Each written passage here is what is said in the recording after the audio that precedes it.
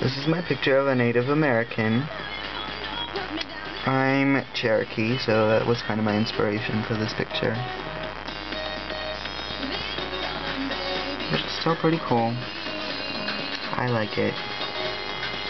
You should too.